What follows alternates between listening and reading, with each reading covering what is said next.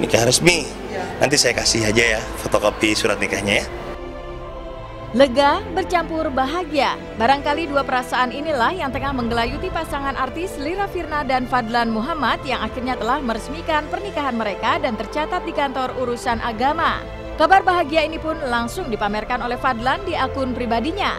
Fadlan langsung memasang foto dirinya bersama Lira yang duduk berdampingan dengan memakai kerudung warna putih, lazimnya orang yang tengah menghadap penghulu. Tak hanya itu, foto buku nikah mereka dengan stempel juga terpampang di akun pribadi Fadlan.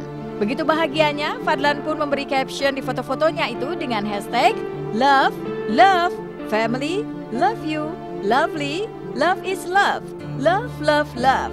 Lantas benarkah jika pihak keluarga besar Fadlan belum mengetahui hal ini?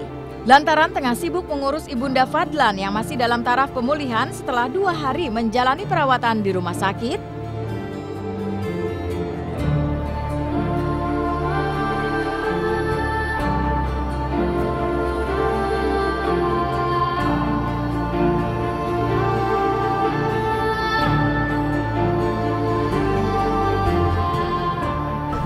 saya nggak tahu asli. Belum belum belum belum belum belum belum belum belum belum cerita itu. Ya ya itu tapi kalau kalau saya sendiri saya sih menyerahkan semuanya kepada uh, Fadlan ya. Bagaimana dia yang, yang terbaik. Itu yang paling penting. Karena uh, yang menjalankan uh, rumah tangga itu adalah uh, beliau. Jadi saya sebagai kakaknya cuma mengaminkan aja. Uh, saya saya mengaminkan kalau itu baik Sayang, kapan dan di mana mereka melangsungkan dan mencatatkan diri soal pernikahannya, baik Fadlan dan Lira masih ingin merahasiakannya. Jika menelisik ke belakang, sebelumnya pasangan ini sempat dikabarkan telah menikah siri pada tahun 2014 silam. Namun saudara kembar Fadlan, Fadli justru membantah soal pernikahan siri ini. Fadli meyakini jika kembarannya itu memang telah resmi memperistri Lira Firna. Nikah resmi emang, emang resmi udah resmi kan? Secara negara. Secara negara? Resmi-resmi aja negaranya. Coba tanyain Fadlan dong gue kan nggak ngerti surat-suratan. Kalau gue surat gue gue simpan sendiri di rumah. Surat Fadlan setahu gue sih resmi-resmi aja dia. Kenapa ada yang bilang nggak resmi? Setahu saya sih udah resmi cuma buat di pesta ini saya nggak ngerti ya. Mungkin karena pernikahan yang kedua mungkin nggak pakai pesta-pesta kali nggak ngerti juga saya. Kalau bicara masalah pesta kan haknya mereka kan. Emang duitnya duit saya, duitnya duit mereka kan enak aja. Nanti orang lihat sendiri aja, maksudnya gini, eh, nggak uh, mau di nggak mau nggak mau aku yang gambarin biar orang aja yang gambarin terserah orang kayak apa. Uh, tapi kalau buat aku uh, ada hal-hal yang sekarang memang kalau pribadi ya buat aku ya pribadi aja gitu. Jadi kalau nanti diketahui orang banyak terlalu banyak orang komentar kalau misalnya gini kalau misalnya sudah aku kasih tahu terus orang masih komentar itu rasanya sakit tapi kalau aku nggak kasih tahu orang komentar ya udah terserah gitu jadi ya udah deh orang komentar ya karena memang nggak tahu gitu tapi yang menyakitkan kadang-kadang kita udah udah mau ngomong gitu udah mau cerita tapi orang masih ngomongnya yang gimana Lira dan Fadlan memang bukan yang pertama dalam kisah asmara mereka. Jauh sebelum mengenal Fadlan, Lira pernah dipersunting oleh Erik Skada dan memiliki dua orang anak. Setali tiga uang dengan Lira, Fadlan juga telah memiliki anak dari pernikahan sebelumnya. Walau keduanya tidak pernah berterus terang soal hubungan mereka, Lira sempat dikabarkan mendesak Fadlan untuk segera menikahinya secara resmi. Soal tuntutan Lira ini ia tuliskan di akun pribadinya yang berbunyi, Cukup, jangan temui aku lagi. Kalau memang serius, temui ayahku, hitbah aku. Tidak hanya itu, Lira juga menulis nikah itu sunnah Rasulullah Shallallahu Alaihi Wasallam.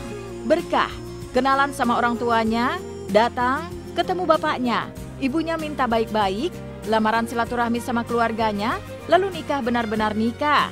Resmi punya buku nikah, ada di kakak, ada di catatan pemerintah.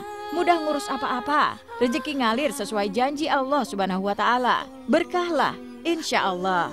Lantas, benarkah jika gara-gara curhatan Lira beberapa waktu lalu itu sempat membuat hubungan Fadlan dengan Lira renggang? Benernya nggak ada apa-apa. Sebenarnya nggak ada apa-apa, keluarga kita baik-baik aja ini cuma ulah orang yang pengen keluarga kita hancur aja kayaknya. Tapi ya insya Allah kita hadap ini baik-baik aja juga. Kita masih baik-baik aja dan, dan kita nggak ada masalah apa-apa. Postingan itu untuk orang supaya baik. Kita mau ngasih ketahui kebaikan kepada orang lain. Malah di, di, di, dipikirnya jadi kita ada masalah. Makanya kita bingung. Dan itu adalah lansiran dari teladan Rasul. Coba dikutip aja, coba dilihat kutipannya.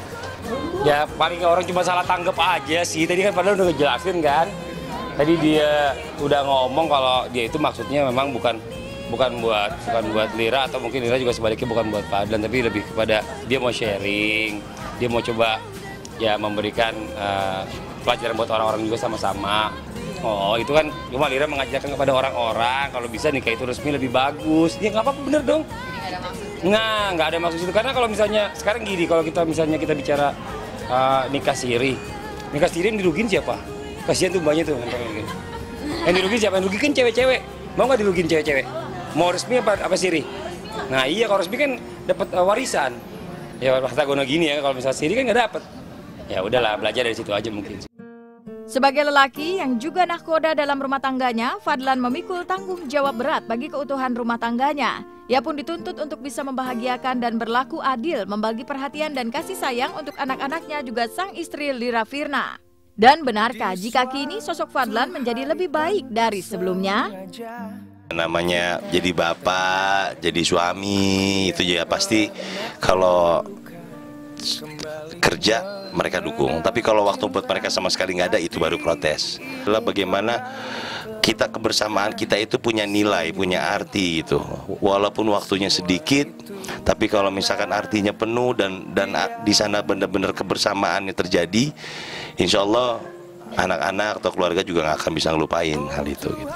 Ya waktu kalau misalkan lagi selesai-selesai semua ya bisa ketemu pasti. Kalau misalkan udah selesai syutingnya bisa ketemu. Kalau misalkan lagi kerja ya nggak bisa ketemu siapa pun juga begitu pasti. Saya saya usahain kalau saya lagi ada waktu pasti saya akan menemani.